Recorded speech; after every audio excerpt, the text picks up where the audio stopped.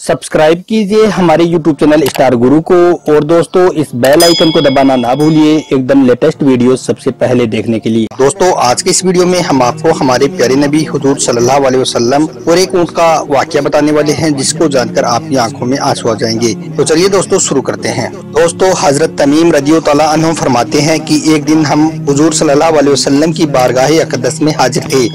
کہ ایک اونٹ بھاگتا ہوا آیا اور حضور صلی اللہ علیہ وسلم کے سر مبارک کے پاس آ کر وہ کھڑا ہو گیا اور نبی کریم صلی اللہ علیہ وسلم کے کان میں وہ کچھ کہنے لگا۔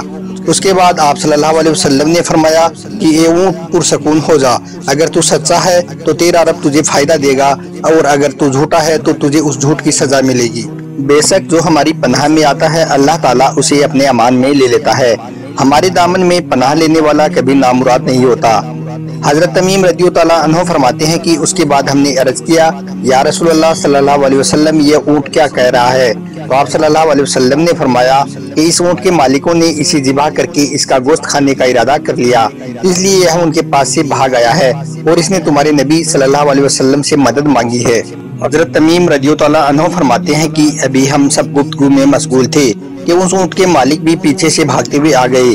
جب اونٹ نے ان کو آتے دیکھا تو وہ دوبارہ حضور صلی اللہ علیہ وسلم کے سر مبارک کے قریب ہو گیا اور آپ صلی اللہ علیہ وسلم کے پیچھے چھپنے لگا۔ ان کے مالکوں نے عرض کیا، یا رسول اللہ صلی اللہ علیہ وسلم، یہ ہمارا اونٹ تین دن سے ہمارے پاس سے بھاگا ہوا ہے اور آج یہ ہمیں آپ کی خدمت میں ملا ہے۔ اس پر حضور صلی اللہ علیہ وسلم نے فرمایا کہ یہ اونٹ میرے سامنے آپ کی شکایت کر رہا ہے۔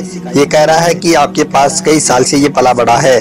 جب موسم آتا تو آپ اسے گھاس اور چارے والی جگہ پر اس پر چڑھ کر چلے جاتے۔ اور جب موسم گرم آتا تو آپ اسی پر چڑھ کر سرد علاقوں کی طرف چلے جاتے۔ لیکن جب یہ اس عمر میں پہنچ گیا ہے تو آپ اسے جباہ کر کے اس کا گوشت کھانے کا منصوبہ بنا لیا ہے۔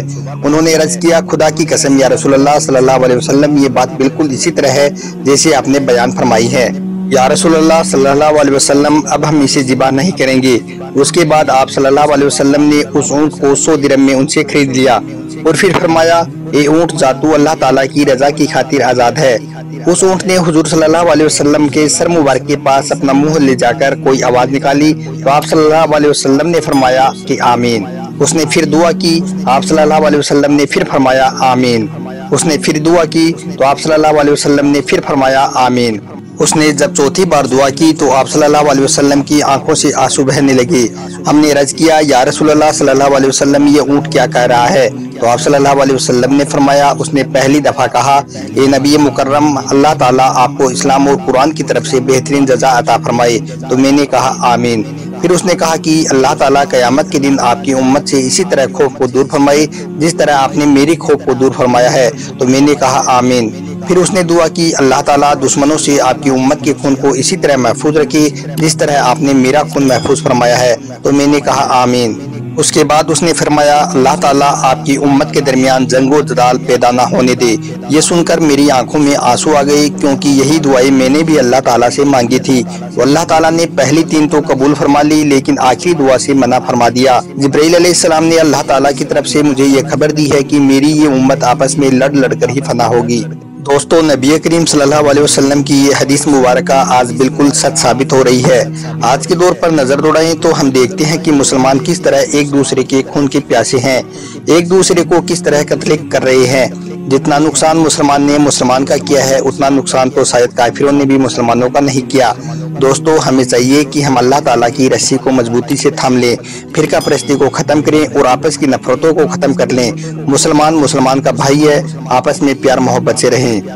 دوستو، اللہ تعالیٰ ہم سب کو سمجھنے کی توفیق عطا فرمائے، نیک بنائی ایک بنائے، آمین۔